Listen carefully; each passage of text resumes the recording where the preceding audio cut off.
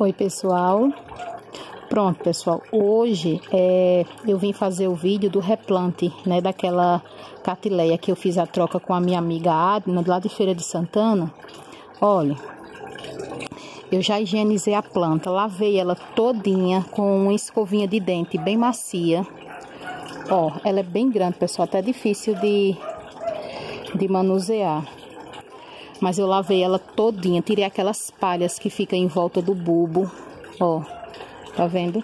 Lavei bem aqui, ó, entre o rizoma para tirar qualquer vestígio de cochonilha, né? E como vocês viram no vídeo eu abri na caixa, tinha uma planta que ela mandou para mim, que é essa aqui, ó. A Oceoclades maculata, que ela tava com cochonilha. Olha para vocês verem, tá vendo? Ó? Só lavei com detergente de coco e uma escovinha. Agora eu vou preparar uma solução caseira que eu sempre uso aqui para as minhas plantas, que é um litro de água, quatro colheres de sopa de detergente de coco e duas colheres de sopa de vinagre de álcool. Aí eu vou borrifar, tipo assim, de três em três dias, de quatro em quatro dias, mais ou menos eu vou fazendo a aplicação nesse intervalo, de quatro em quatro dias, de três em três dias, eu vou vendo e vou aplicando. Porque eu prefiro sempre, pessoal, essas misturinhas caseiras, porque eu tenho gato, eu tenho cachorro e eu tenho medo, certo? Olha, o replante dela eu vou fazer nessa cuia. Ela é uma cuia baixa, vou colocar minha mão perto, ó. Ela é baixa, mas a boca dela é bem larga, olha, tá vendo? Então, assim, para ela que é uma planta grande, eu acredito que aqui vai ficar bom. É, tá um pouco apertado aqui, mas eu vou tentar mostrar o melhor possível. Eu vou usar esfagno. Ó, aqui tá o esfagno. O sol tá batendo, pessoal. Deixa eu tentar mostrar aqui de outro jeito. Pronto, tentei melhorar aqui o celular. Olha o substrato. Vou usar esfagno. Vou usar carvão, pedra, caco de telha e um pouquinho de casca de pinos. Pronto, esse é o substrato, tá vendo, ó? É, então, vamos lá como é que eu vou fazer. Igual eu faço sempre. Eu vou colocar o esfagno aqui do lado para poder eu pegar aqui o substrato. Lembrando, pessoal, que a planta, ela fica por cima do substrato. Não pode enterrar a planta. Eu vou colocar aqui o substrato e já já eu volto.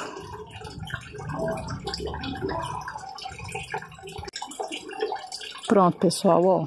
Coloquei uma quantidade boa aqui de de substrato. Agora eu vou posicionar a planta.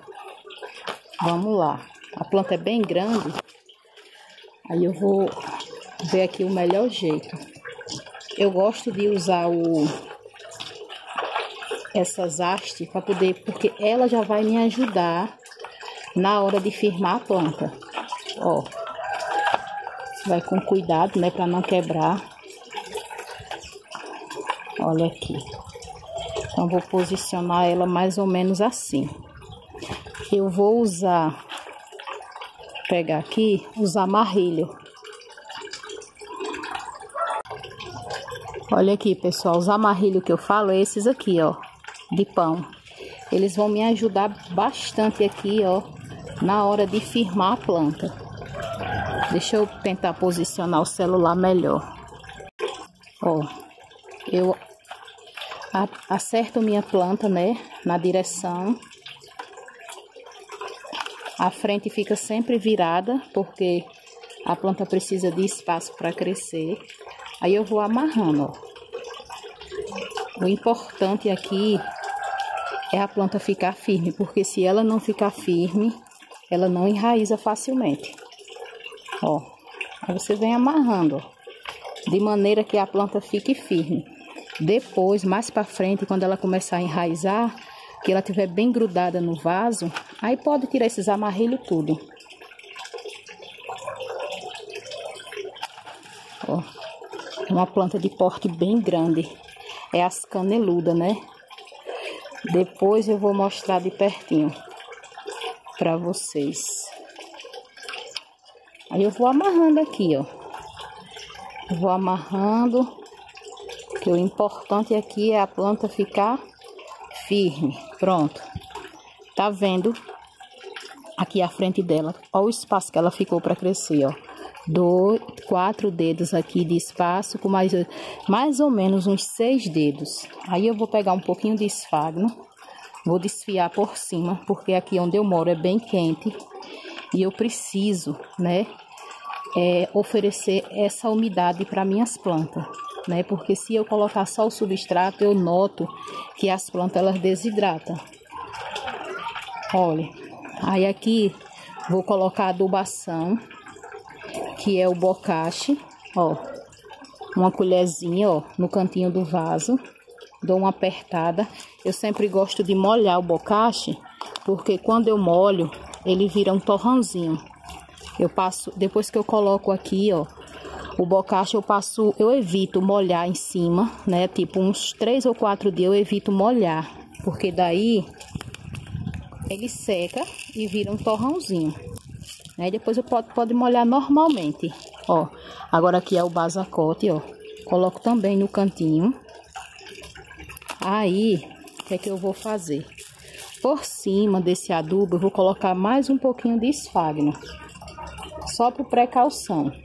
Para quando fizer a rega, esse adubo não ir embora. Mas se você fizer a rega, assim, não der um jato muito forte de água em cima, esse adubo não vai embora não, porque às vezes eu coloco e às vezes eu não coloco. Agora eu vou mostrar aqui de pertinho para vocês. Olha aí, pessoal, como ficou, ó. Vou afastar um pouco. É uma planta de um porte bem grande, ó. É a floração dela. Então, pessoal, ó, eu não tenho certeza da identificação.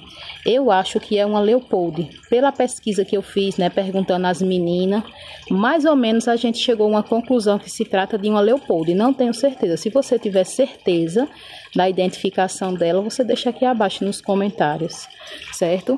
Agora aqui, ó, deixa eu mostrar de pertinho. Tá vendo que a camada de esfagno é bem pouca, ó. Não é muita, não. Aí aqui embaixo, ó, tá as bolinhas, ó de adubo de liberação lenta.